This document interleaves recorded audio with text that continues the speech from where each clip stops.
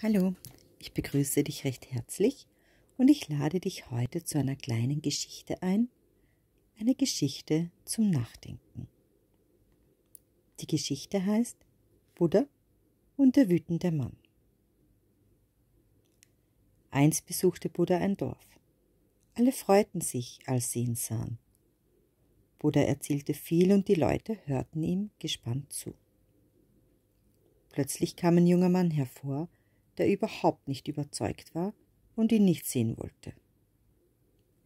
Er glaubte, dass Buddha nur ein Betrüger sei, der seine Anhänger nur zu täuschen versuchte. Buddha hielt eine Rede und der junge Mann begann laut herumzuschreien, um die Rede zu stören. Buddha allerdings ignorierte ihn und dessen Anstalten, was den jungen Mann nur noch wütender machte. Sehr wütend ging er dann direkt zu Buddha hin und beleidigte ihn. Du darfst keinem was beibringen. Du weißt genauso wenig wie alle anderen hier. Hör auf, du bist genauso dumm wie alle anderen. Hör auf, andere zu belehren, du Betrüger. Die Menschen, die Buddhas Rede zuhörten, waren empört und versuchten den Mann zu stoppen. Aber Buddha sagte ihnen, dass sie damit aufhören sollten. Aggression soll nicht mit Aggression bekämpft werden.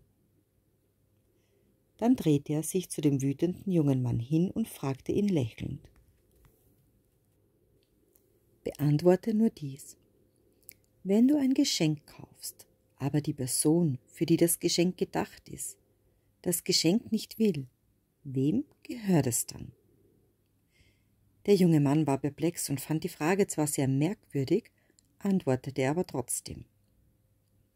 Das Geschenk würde dann immer noch mir gehören, weil die Person das Geschenk nicht angenommen hat und ich es gekauft habe. Dann bleibt es bei mir. Buddha sagte daraufhin lachend, so funktioniert das auch mit Wut. Wenn du zornig bist und mich beschimpfst, ich aber nicht beleidigt bin und den Zorn nicht annehme, dann gelangt der Zorn zu dir zurück.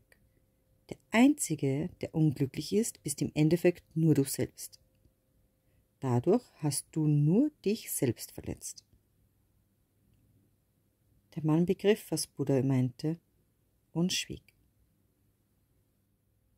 Ich danke dir vielmals fürs Zuhören und hoffe, die Geschichte hat dir gefallen. Und ich freue mich schon aufs nächste Mal, wenn du wieder mit dabei bist. Ich wünsche dir noch alles Gute bis dahin. Tschüss.